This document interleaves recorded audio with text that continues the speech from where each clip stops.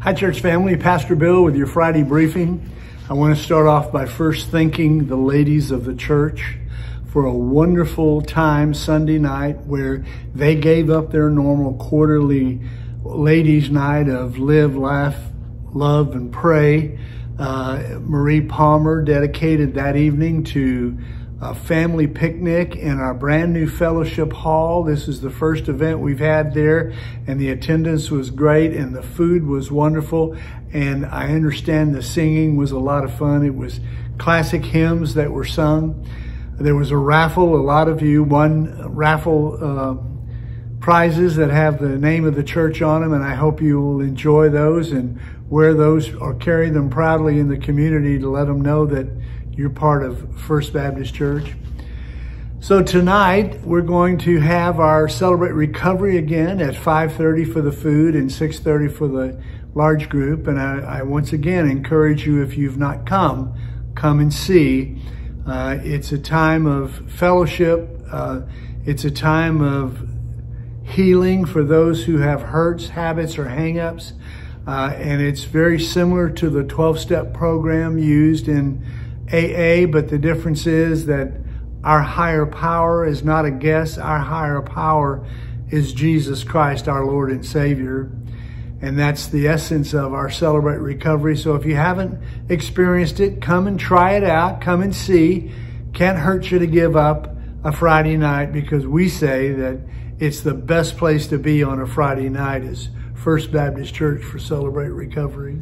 Saturday morning, I'm sure that many of you got this email from the church this week talking about meeting at the library. Uh, this is a movement that has been put on by Kirk Cameron. Many of you know who that the actor is. He's a very strong Christian. He's part of Brave Books.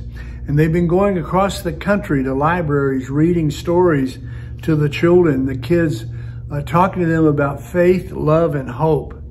And on August the 5th, that's tomorrow morning at 10 a.m., one of our local churches has reserved the, the library, a, a large room in the library, to honor at 10 a.m. this reading of some of the books that Kirk Cameron has provided or recommended.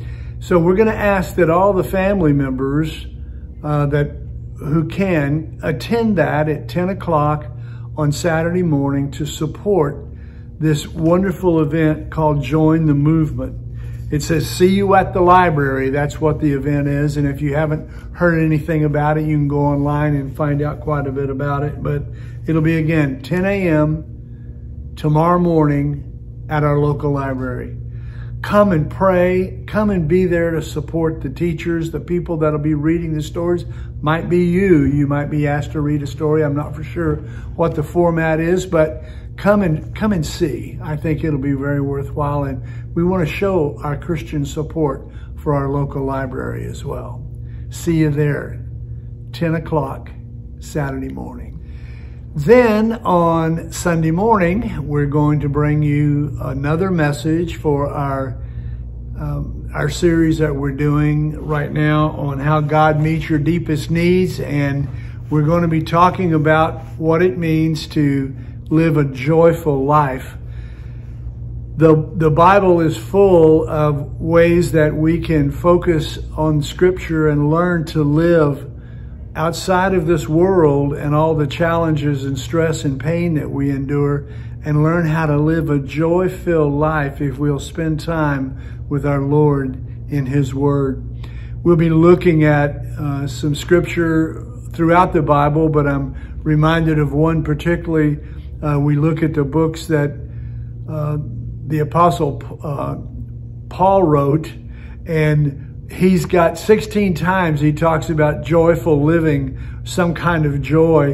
And here's a man that wrote those books, not on his vacation, not in a nice, comfortable somewhere, but he wrote these in jail. And we'll be talking about that and how that came about. We're going to split the message again. Brother Justin and I will do joyful and I get the privilege of doing joy and he'll do the full.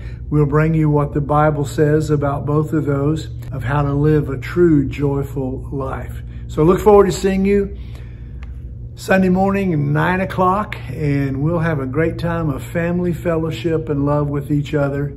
So be sure and be there and bring a neighbor, bring a friend, bring somebody that needs to know what it means to live a joyful life. God bless you.